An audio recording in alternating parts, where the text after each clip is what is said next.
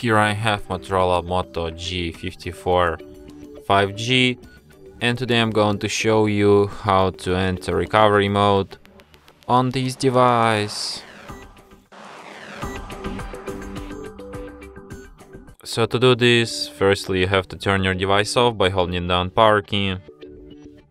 And after it turns off completely, hold down combination power key plus volume down at the same time for a couple of seconds like this.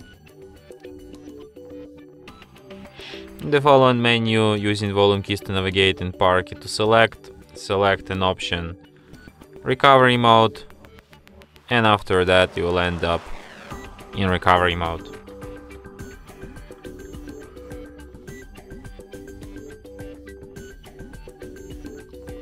When you see this kind of robot, hold down power key and press volume up once and here it is, recovery mode.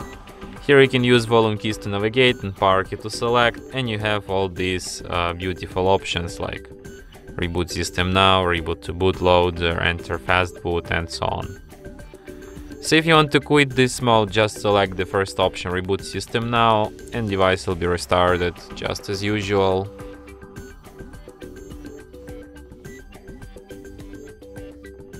And that's it. Thanks for watching.